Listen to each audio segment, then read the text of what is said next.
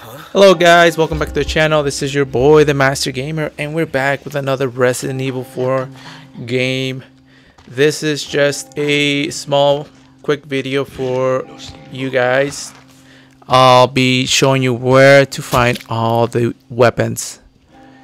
Um, all the free weapons for the game, all the shooting weapons. Like, we're gonna go and get the shotgun, the pistol, the AR-15 and uh self-machine gun. Uh yeah. Mini machine gun? Self-machine gun? Yeah I think that's what they're called. Uh, but yeah uh, hopefully you guys will enjoy this video. It's just a quick one so we'll just go through the game and show you how to get all the weapons. And if you like the content remember to like and subscribe to the channel and stay tuned for more videos for the Let's Play on Resident Evil 4. Hope you guys enjoy this. Let's get to it.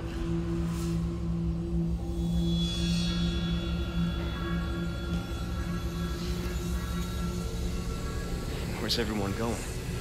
Bingo?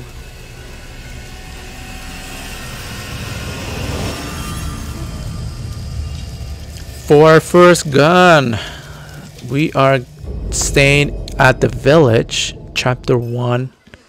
And we're going to head to the two-story house.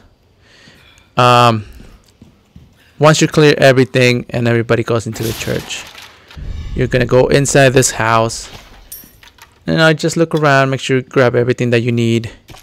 And once you find everything you need, head to the second floor. And right when you get there, turn to your left and then you'll see it right there on the wall. That's the first one, the shotgun. Oh, nice. It comes in handy. Hope you guys enjoy that one. And for your second weapon, you will be on chapter 4. You'll have to travel to the center of the lake.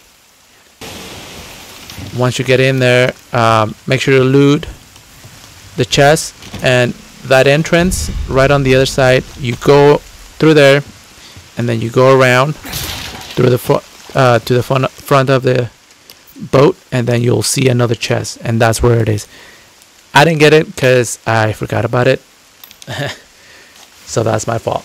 But center of the lake that's where it is. Let's move on to the next one. Chapter 10 that is where the AR-15 is located. Once um, Ashley gets taken away. What you want to do is make sure you're fully ready and everything's loaded because you're gonna have to do some traveling to the second floor. And right where she was taken you want to go inside the entrance.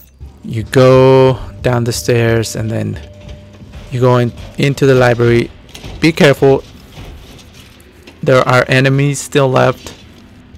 And make sure to take a right and go to the second floor of the library. Just run around the the baddies. And once you get to the second floor you will see where there's a puzzle. Now just take a look at how I did it and do it yourself.